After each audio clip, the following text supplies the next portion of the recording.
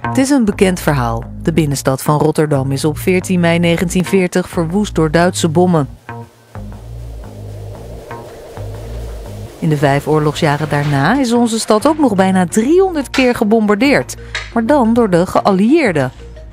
Niet al die bommen ontploften en niet alle onontplofte bommen zijn geruimd.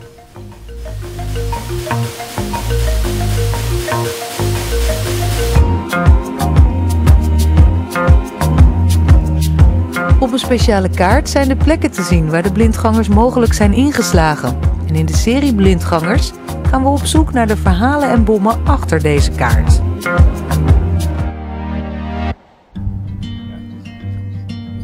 Hoek van Holland had met zijn strategische positie aan de Waterweg een speciale rol tijdens de Tweede Wereldoorlog en herbergt nog steeds talloze herinneringen aan de tijd van de Duitse bezetting. Ik heb hier een afspraak met Menno Ribbens, die de historie van Hoek van Holland grondig onderzocht heeft om de bommenkaart zo goed mogelijk in te vullen. Het was een van de zwaarst verdedigde regio's van de, de Nederlandse kustlijn. Het vormde onderdeel van de Atlantic Wall. Dat was de Duitse verdedigingslinie eigenlijk die vanaf Scandinavië helemaal tot aan uh, Spanje liep. En Nederland kende drie van die hele zware vestingen, vestungs genoemd, tijdens de oorlog. En dit was vestung Hoek van Holland. Ik heb hier een kaart meegenomen van uh, de verdediging van de vesting Hoek van Holland. Deze kaart is gemaakt door de geallieerden.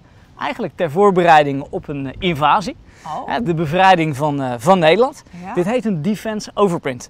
Het is een stafkaart uit de oorlog waarbij met symbolen de militaire verdediging is ingetekend. Dus en... zij, die, die geallieerden die wisten waar die Duitsers hun verdediging hadden? Exact. Dat, hebben dat ze wisten allemaal, ze door luchtfoto's te bestuderen. Dat zijn luchtverkenningsfoto's die ze hadden gemaakt van uh, Duits gebied. Die werden geanalyseerd door uh, ja, kenners, analisten.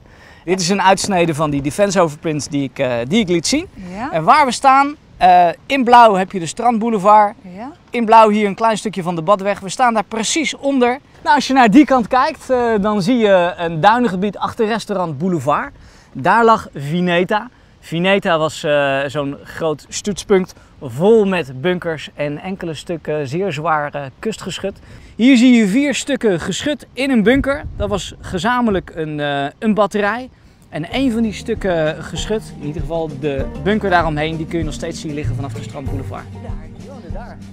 Dat wil ik wel eens van dichtbij zien. Het strand lijkt best ver weg, maar dat was vroeger anders. Het strand lag veel dichterbij. Dus dit was eigenlijk de eerste linie die ze geallieerden tegen zouden komen op het moment dat zij een invasie zouden doen op het strand van Hoek van Holland. Oh, ik denk al van, nou, je moet eerst een heel eind duinen overbruggen, wil je iets gaan raken. Maar dit was dus Dit- eigenlijk al ja. strand. Wat je hier Destijds. ziet, dit kleine stukje, dat was een klein stukje duinengebied. En daarachter lag meteen het strand. En op het strand lagen strandversperringen. En dan had je hier een prikkeldraadversperringen. Er stonden wat mitrailleurs opge- opgesteld. En zodra je hier overheen kwam, kwam je dit soort bunkers tegen. Nou, Zouden we er er nog even in gaan kunnen? zitten. Ja, oh, echt één? Oh, er zit een roostertje er zit voor. een roostertje voor, hè? Kijk, we kunnen hier gewoon naar boven. Thank you. Oh, Nou, hier heb je zat er gewoon bovenop ineens. Zat je voorstellen dat je vanaf hier probeerde de, de schepen waar te nemen. Ik heb een, eh, een foto van hoe de situatie er eh, vroeger uitzag. Ja? Uh, dit was het uh, witte, dat is het oude strand. Um, waar we staan is precies hier, midden in Vineta. Daar had je een heel klein donker stukje, dat was de duinerij. En waar we nu op kijken, dat is een hele grote duinerij. Dat was er vroeger allemaal niet. De bunkers zijn door een enorm ondergronds gangenstelsel met elkaar verbonden en vaak overwoekerd met struikgewas. Ja, je staat hier midden in het terrein van Vineta met alle bunkers. Uh, ah, hier ziet... ligt er ook nog eentje. En die geallieerde invasie op het strand van Hoek van Holland, waar de Duitsers uh, voorzorgsmaatregelen voor hadden genomen, die is er nooit van gekomen. En ze zijn gewoon in 45 vertrokken, alles achter zich gelaten. Exact. In de bunkers ligt echt geen munitie meer, maar de bodem zelf heeft nog een flink aantal verdachte plekken. En het zoeken naar munitie op zo'n verdachte plek gaat anders in zijn werk dan het zoeken naar bommen. Bodemexpert Joost Martens kan daar meer over vertellen. Hier zijn ze detectieonderzoek aan het uitvoeren. Uh, er komt nieuwbouw, hè, dat een nieuwe woonwijk, er wordt nieuw gebouwd. Uh, op de kaart is aangegeven dat het een verdacht gebied is op munitie. Met een metaaldetector gaan ze meten. Die metaaldetector kan zo ongeveer 30 centimeter in de grond kijken. Slaat die uit, of meestal horen ze een piepje of je ziet ook een wijzertje bewegen. Dan zeggen ze oké, hier is dit van metaal. En dan wordt er even naartoe gegraven, wat is dat? Vaak is het iets van metaal, maar geen, geen munitie. Hoort hij niks, dan zegt hij tegen de kraanmachinist oké, okay, graaf die cent 30 centimeter af. En dan gaat hij weer meten. En dit is een stapje voor stapje gaan ze naar beneden. Dus je begint op 0 en dan gaat zo langzamerhand in een aantal lagen naar 2 meter.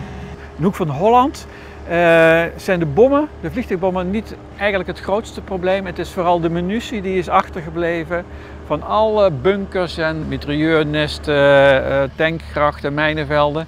En dat is allemaal oppervlakkig. Hè? Dus dat is niet die diepe bommen die diep inslaan, maar dat lag gewoon aan de, aan de oppervlakte of in bunkers. En soms is dat ergens uh, gedumpt in, een, in een grachtje of in een slootje of in een put. Er is heel veel munitie hier ja, ja. Is hier zoveel gevochten dan? Nee, eigenlijk niet. Er, alleen in de, in de meidagen, aan het begin van de oorlog is hier gevochten. Toen had je de Duitsers die geland waren in Rotterdam, ook hier in de buurt. Die zaten in het Staalduitse bos. En er was hier een afdeling van het Engelse leger, lag hier.